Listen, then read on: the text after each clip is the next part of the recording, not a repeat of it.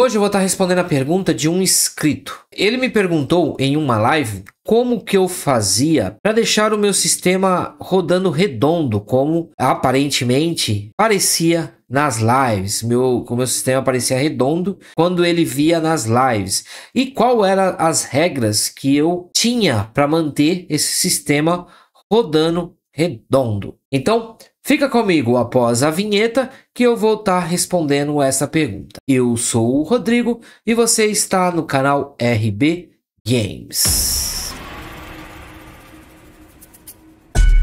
Bom, pessoal, é, algum, algumas semanas atrás eu fiz uma live. Eu lá na live lá ro, ro, é, houve um assunto, né? E aí eu comentei bem assim: essa é isso é uma das coisas que eu não faço de jeito nenhum na, no meu sistema. É uma das regras que eu imponho aqui da minha utilização. E aí, o, um inscrito ficou curioso, né? E ele falou assim: Pô, qual regras são essas que você diz que tem aí no seu sistema?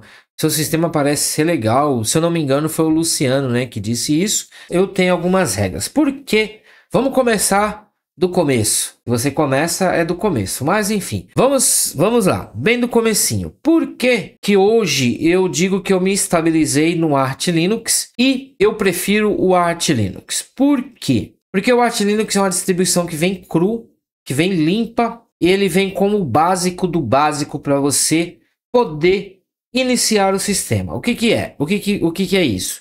Ele vem com básico, ele vem com uma interface gráfica básica, mas básica mesmo com aquelas coisas necessárias. O que, que seria necessária? Um drive de vídeo, né? É óbvio, o drive e uma firmware, né? Que a gente precisa disso. De vídeo, de som, de rede. Tem mais alguma coisa por trás aí que eu devo estar tá esquecendo, mas as coisas básicas que são drives e firmwares dos nossos hardwares, né? Ele vem com isso básico, basicão.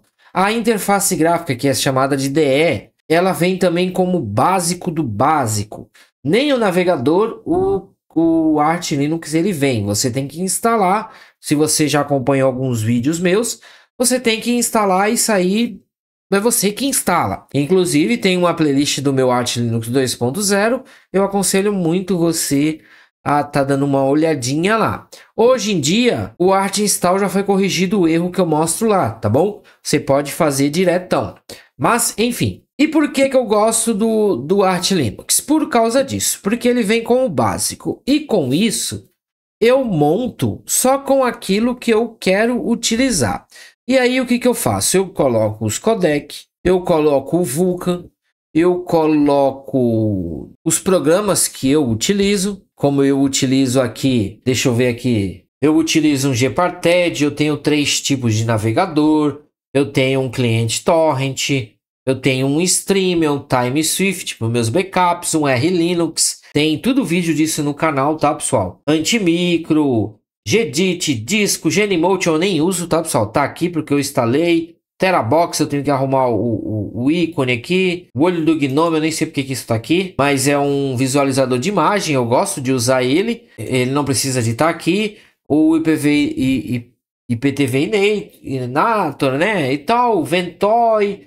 Fora outras coisas que eles não estão aqui. Mas eles estão aqui na minha barra de tarefa inferior. Eu monto o meu sistema com aquilo que eu quero utilizar.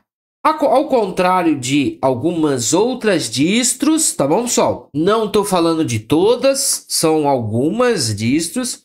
Ela vem com uma enxurrada de pacotes. Ao meu ver, são desnecessários.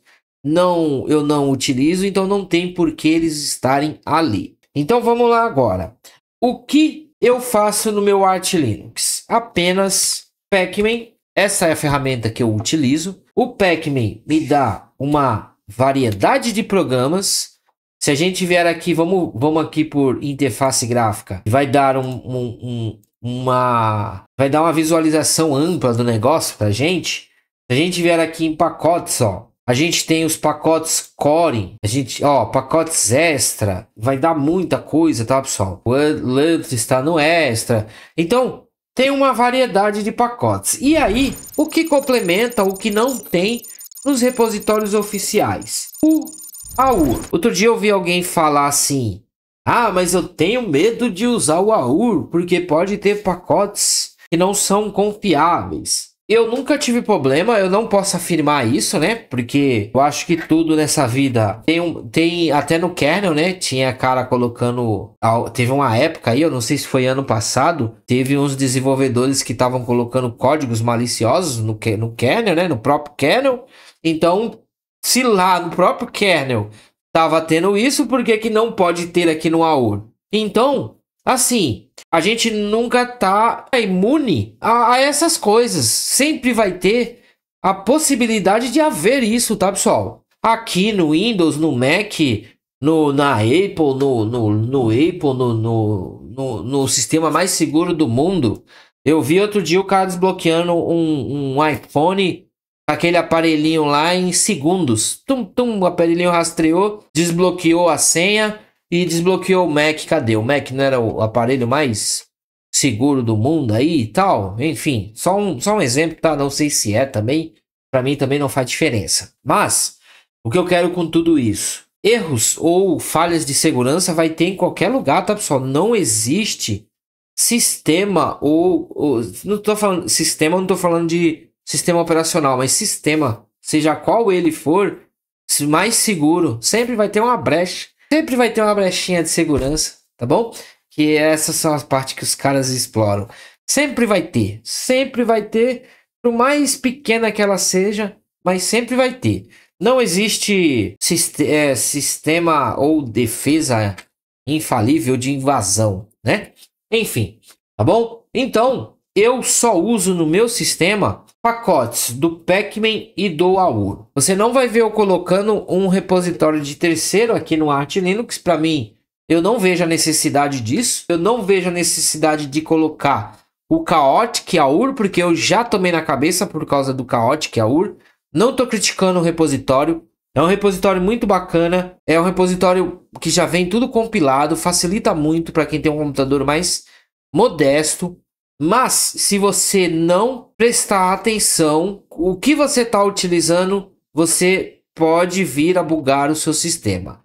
Em, eu digo em termos de atualização. Então, eu não uso lojas de terceiros, né? Antigamente eu colocava Chaotic AUR, colocava a loja do, do outras lojas, enfim, não uso. Outra coisa, eu peguei o hábito, mano.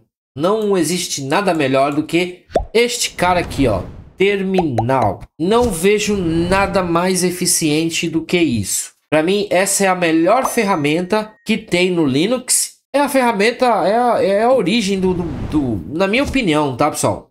Tudo que eu tô falando aqui é, é experiência de uso minha. Eu, eu já tenho acho que uns oito anos de uso aí que eu venho usando. Não sei tudo, tô aprendendo todo dia. E mas assim, do pouco que eu sei, tá bom?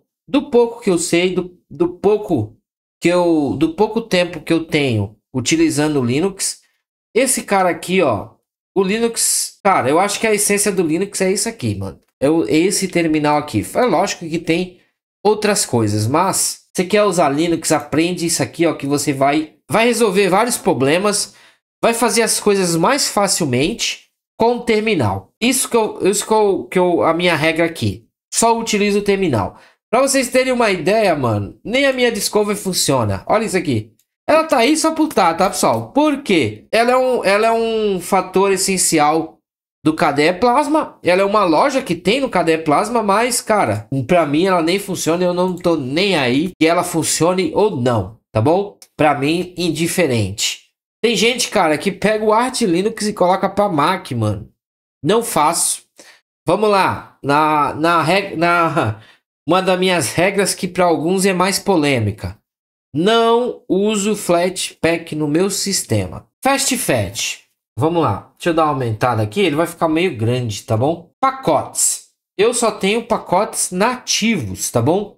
Eu acho que eu já falei isso em um outro vídeo.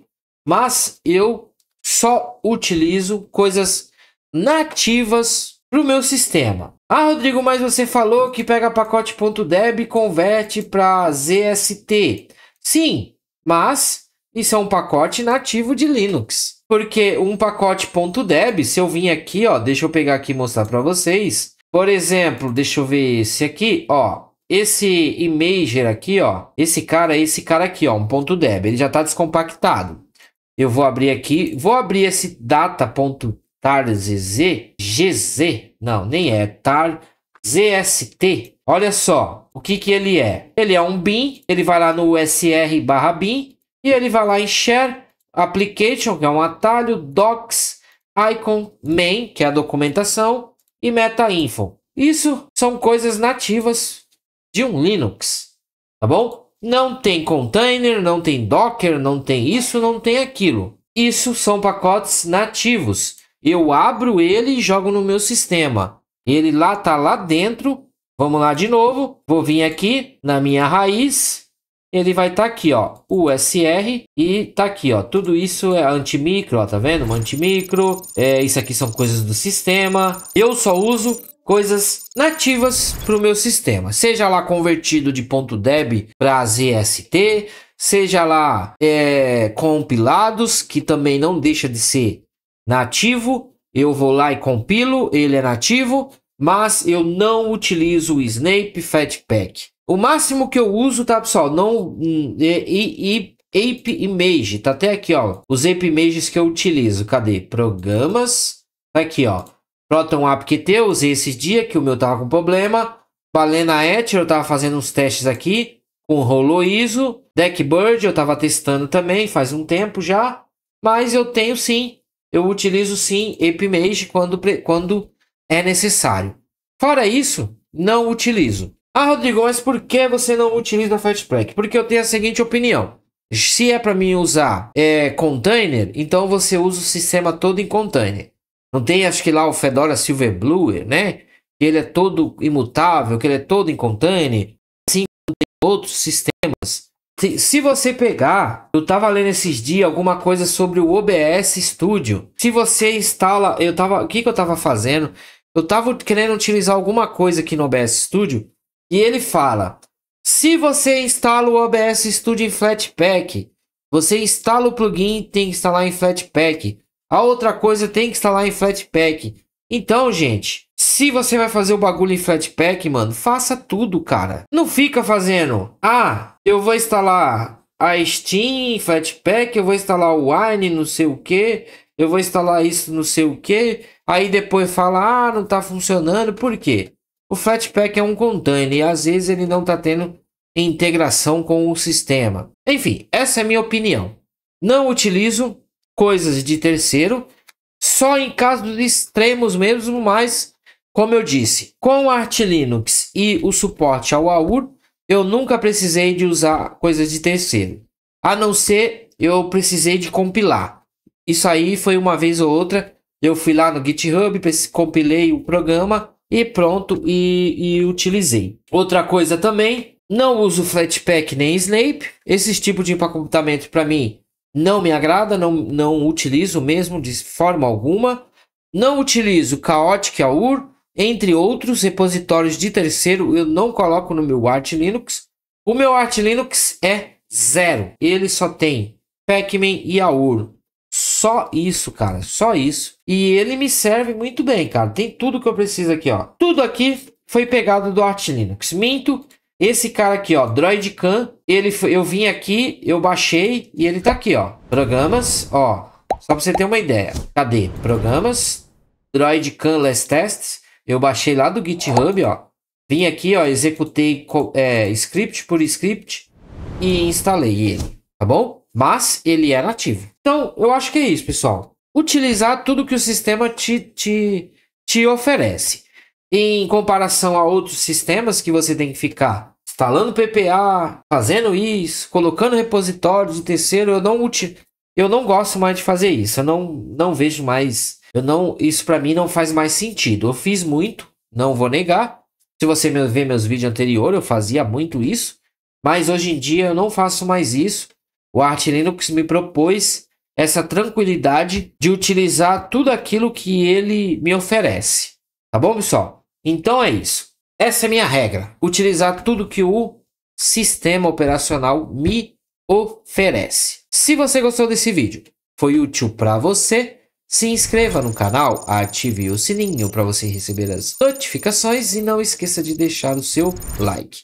Você também pode compartilhar com seus amigos nas suas redes sociais. Desta forma, você vai estar ajudando o canal a crescer. Eu vou ficando por aqui e até o próximo vídeo.